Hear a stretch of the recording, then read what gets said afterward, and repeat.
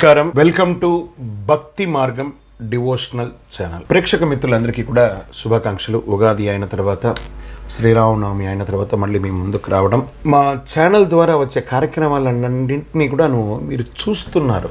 వేళల్లోనే చూస్తున్నారు. కానీ సబ్స్క్రైబర్స్ మాత్రం చాలా తక్కువ మంది చేస్తున్నారు.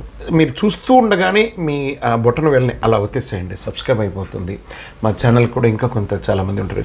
మా ఛానల్ ద్వారా మీరు చూస్తున్నారు కదా మీకు నచ్చుతుంది కదా కార్యక్రమాలన్నింటినీ వాట్సాప్లోనూ ఫేస్బుక్లోనూ. ఇన్స్టాగ్రామ్లోను మీ మిత్రులకు కూడా షేర్ చేయొచ్చు కదా అవకాశం ఉంటే చేసేసేయండి. అందులోనూ మనం వచ్చేసి భక్తికి సంబంధించినటువంటి ఇప్పుడు మనం కంటిన్యూగా ఈ బ- ఉగాది నూతన సంవత్సరం అంతా రావడంతో ఆంగ్ల నూతన సంవత్సరం నుంచి ఒక శ్రీరామనవమి వరకు రాశి ఫలితాలని చెప్పుకుంటూ వస్తున్నాం కదా. కమింగ్ డేస్లో ఆధ్యాత్మికమైనటువంటి సబ్జెక్ట్స్ అంతా కూడాను ప్రశ్నోత్తరాలు. ఇప్పుడు మా ఛానల్లో చూస్తున్నటువంటి వీడియో ఉంది కదా మీకు ఒక ఆధ్యాత్మికమైనటువంటి ఏదైనా ఒక ధర్మ సందేహం ఉందనుకోండి ఆ డిస్క్రిప్షన్లో మీరు కింద కామెంట్స్లో పెట్టండి. మా టీం దాన్ని తీసుకొచ్చి మాకు అందజేస్తారు. కమింగ్ డేస్లో ప్రతి మాస ఫలితం అయిన తర్వాత కనీసం ఒక ఐదు నుంచి పది ధర్మ సందేహాలని కూడా మేము మన ఛానల్ ద్వారా అందించాలని అనుకుంటున్నాం. ఇది మీకు చాలా ఉపయోగపడుతుంది. ఈ నెల రాశి ఫలితాలన్నీ కూడా ఎలా ఉన్నాయి? ద్వాదశ రాశులు అన్నిటి కూడా మనం చూసుకోవడం సద్గురు జ్యోతిషాలయం ద్వారా ఈ యొక్క రాశి ఫలితాలని కూడా మనం చెప్పుకుంటూ వస్తున్నాం. వాస్తవానికి జ్యోతిష్యం అనేది ఒక అద్భుతమైనటువంటి గణిత శాస్త్రం లాంటిది. ప్రతి ఒక్కరికి కూడా ఒక క్యూరియాసిటీ ఈ నెల నాకు ఎలా ఉంటుంది? వ్యాపారం ఎలా ఉంటుంది? ఉద్యోగం ఎలా ఉంటుంది? అని చెప్పుకోదగ్గ ఒక విషయమే ఇది. గోచార గ్రహస్థితులు అన్నింటిలో పెట్టుకొని అన్ని వర్గాల వారిని దృష్టిలో పెట్టుకొని మనం చెప్పడం జరుగుతుంది. ఇది మీ యొక్క వ్యక్తిగత జీవితంలో జాతకానికి ఒక అరవై నుంచి అరవై ఐదు శాతం వరకు వర్తిస్తుంది. మీ సంపూర్ణమైనటువంటి జాతకం తెలుసుకోవాలంటే మీరు పుట్టినప్పుడు ఒక సమయం ఉంటుంది. Date of birth time of birth place of birth ద్వారా మీ సమీపంలో ఉన్నటువంటి సద్గురువుల్ని సంప్రదించి ఉచిత రీతిలో వారిని సత్కరించి మీ యొక్క సంపూర్ణ జాతకాన్ని తెలుసుకోవచ్చు. లేదా మా యొక్క ఛానల్ని సంప్రదిస్తే మీరు అపాయింట్మెంట్ తీసుకొని అలా కూడా మీరు జాతకాన్ని కూడా పొందవచ్చు. ఈ యొక్క సంవత్సరం ఎలా ఉండింది అనేది మనం లాస్ట్ దాంట్లో చెప్పాం.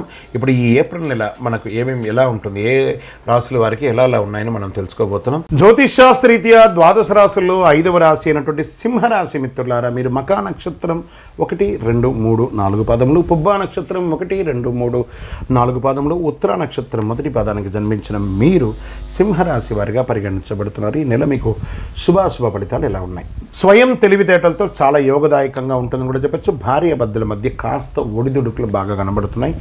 వాహన ప్రమాదాలు జరిగే అవకాశాలు ఉన్నాయి. జాగ్రత్త. అంటే కొన్ని వాస్తవాన్ని మనం యాక్సెప్ట్ చేయక తప్పదు. జాగ్రత్తగా నడపండి. అనేక రకాలైనటువంటి సమస్యలు మల్టిపుల్గా మీకు ప్రెషర్స్ వచ్చే అవకాశాలు ఉంటాయి. కోర్టు కేసులు ఇబ్బంది పెట్టే అవకాశాలు ఉన్నాయి. పెట్టుబడులు కాస్త షేర్ మార్కెట్లో లేదా ఎక్కడైనా పెడితే అది కూడా కొంచెం డిస్టర్బ్ చేస్తుంది. ఉద్యోగస్తులకి చేంజెస్ అన్ఎక్సెప్టబుల్ చేంజెస్ అని కూడా చెప్పొచ్చు. ఈ నెల కొంచెం గడ్డు కూడా చెప్పొచ్చు. రాజకీయ నాయకులకి జాగ్రత్తగా ఉండాలి. కాస్త అహం కూడా తగ్గించుకుంటే మంచిదని కూడా చెప్పొచ్చు. భూమి వాహనాలు కొనే అవకాశాలు వచ్చినా అన్ని రకాలుగా ఆ డాక్యుమెంట్స్ అన్ని కూడా చదివి పూర్తిగా ఒక్కసారికి రెండుసారి చదివి అందులో ఏ విధమైనటువంటి ఇబ్బంది కలగకుండా చూసుకుంటే మంచిది. పదిహేనో తారీఖు తర్వాత కాస్త బాగుంటుందని కూడా చెప్పొచ్చు. అగ్రిమెంట్ చేస్తే కేర్గా బాగా చూసి అగ్రిమెంట్స్ అంతా వేసుకోండి. క్రియేటివ్ రిలేటెడ్ వాళ్ళకి చాలా అవకాశం ఉంటుంది. ఐటీ రంగాల వారికి మంచి సమయం అని కూడా చెప్పొచ్చు. న్యూ ఆఫీస్ న్యూ హౌసెస్ ఇలా వీళ్ళు ప్రారంభించే అవకాశాలు ఉన్నాయి రాతపూర్వకంగా ఉన్నటువంటి అన్నీ కూడా బాగా ఒకసారికి రెండుసార్లు చదవాలని మళ్ళీ మళ్ళీ చెప్తుంది. మెడికల్ రిలేటెడ్ వాళ్ళకి అద్భుతమైన సమయం. వయసు పెద్దవాళ్ళ ద్వారా కాస్త ఇబ్బందులు వచ్చే అవకాశాలు కనబడుతున్నాయి. వారి ఆరోగ్యం పట్ల చాలా జాగ్రత్త తీసుకోవాలి. ఉద్యోగ అవకాశాల కోసం ప్రయత్నం చేస్తున్న వాళ్ళకి ఇరవై రెండో తారీఖు నుంచి మంచి అవకాశాలు ఉంటాయి. రియల్ ఎస్టేట్ రంగం వారికి కలిసి వచ్చే అవకాశాలు ఉన్నాయి మాస ద్వితీయంలో కాస్త జాగ్రత్తగా ఓవరాల్గా చెప్పాలంటే ఈ నెలంతా కూడా మీకు ఫిఫ్టీ ఫిఫ్టీగానే ఉందని చెప్పొచ్చు. శాస్త్రవేత్తలకి పరిశోధకులకి మంచి అవకాశం చెప్పొచ్చు. షేర్ మార్కెట్ స్పెక్యులేషన్ కాస్త దూరంగా ఉండడానికి ప్రయత్నం చేయండి. రైతులకి ఇది ఒక మంచి సమయం. పారిశ్రామిక రాజకీయవేత్తలకి కంప్లీట్గా మీరు సైలెంట్గా ఉండడమే మంచిది.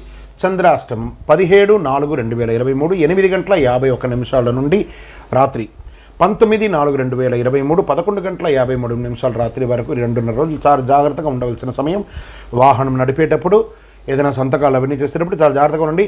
ఆరో తారీఖున ఏడవ తారీఖున కాస్త ముఖ్యమైనటువంటి విషయం కాబట్టి జాగ్రత్తగా ఉండవలసిన సమయం. బుధవారం కలిసి వస్తుంది మీకు. కార్యసిద్ధి కలిగించే రంగు నీలం పసుపు శుభాలను అధివేగంగా మీకు తీసుకొచ్చిస్తుంది. అదృష్ట సంఖ్య తొమ్మిది అనే ఒక సంఖ్యతో ఎక్కువ చేయండి. ఉత్తర దిశ ప్రయాణాలు అనుకూలంగా ఉంటుంది. మీ అనుకూలమైనటువంటి దైవం ఇష్టదైవాన్ని ప్రార్థన చేయండి. శ్రీరామ రక్ష స్తోత్రాన్ని పఠించండి. క్రమం తప్పకుండా మీ వయసు సంఖ్యతో బాగా గుర్తుపెట్టుకోండి. శనివారం నాడు ఉదయం తొమ్మిది నుండి పదిన్నర ఆ ప్రాంతంలో ఆ దీపాన్ని నవ్వు నువ్వుల నూనెతో మీ వయసు ఎంత ఉందో అన్ని దీపాలను వెలిగించండి.